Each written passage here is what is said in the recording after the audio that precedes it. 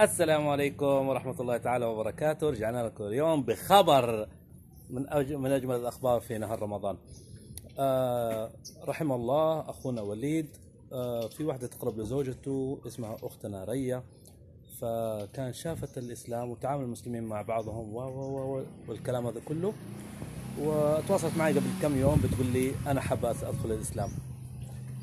فقلت له أوكي أنا حشوف لك الموضوع وأبغى أعلمك الإسلام اولا وكذا.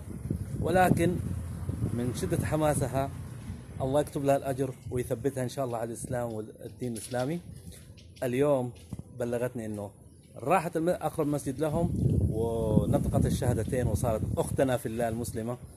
وحبيت أبلغكم بهذا الخبر الجميل في نهار رمضان في يوم الجمعة الفضيل. وفقنا الله وإياكم جميعا لما يحبه ويرضاه.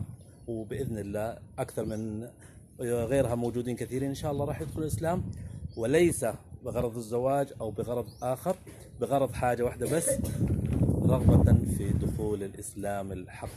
وما شاء الله تبارك الله مثل ما خبرتني أو بلغتني من كثر ما حست إنه القبول والراحة قامت تبكي في المسجد والأخوات ما شاء الله بج- بجنبها لأنه نطقت الشهادتين بعد صلاة الجمعة وخبر ما شاء الله تبارك الله. ما قدرت أصبر حتى أحلق اضبط لا على طول حبايبي كلكم.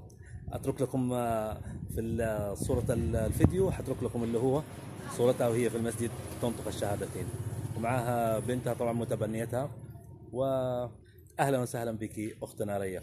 ويلكم بوز اسلام سيستر ريا. إن شاء الله بدقدقنا كب- م- مرامين بريك إسلام. إن شاء الله. السلام عليكم.